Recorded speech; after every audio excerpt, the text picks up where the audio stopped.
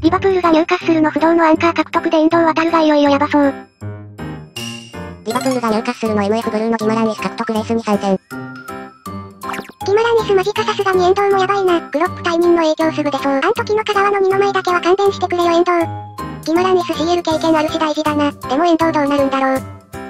今の中盤3枚マクアリスターソボスライ遠藤は CL の経験値不足が予想されるからギマランイスは欲しいですね。ギマランイス来るとアンカーはギマランイスがメインになるけどクローザーアンカーエンドウも良いと思うよな。試行錯誤だけどね。結局終盤失速した原因ってシティとかと比べると圧倒的に選手層が違うわけで、そういう意味ではエンドウとギマランイスいればアンカー増えるからオプションも増えるし安定しそうではある。